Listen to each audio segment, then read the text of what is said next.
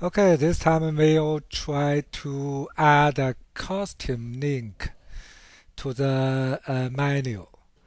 And at the same time, we want uh, when customer or user click that link, it is uh, will pop up at the, uh, as a new tab.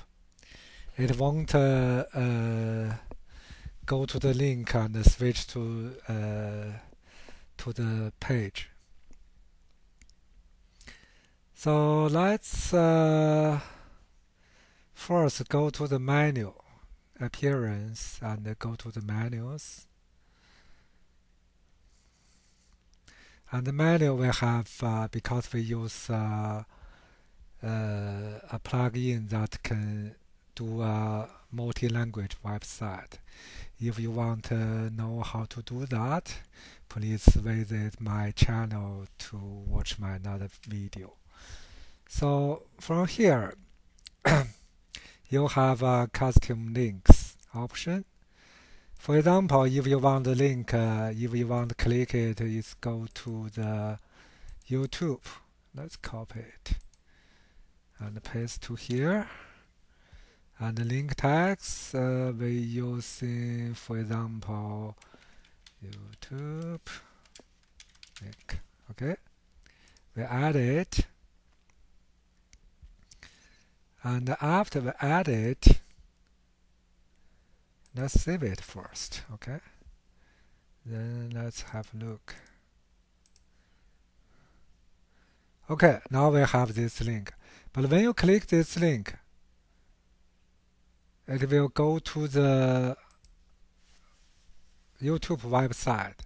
But what we want to do is when you click this link it's open a new tab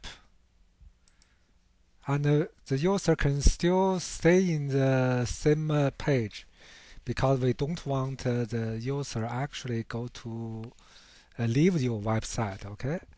So to do that what you need to do is uh, you at the top right corner you have screen option. Click that. And now at the drop down, you have a link target. Check this box, link target. Then let's go back to the link, the YouTube link, okay? Drop down. Now it has the option open link in new tab. Check this box.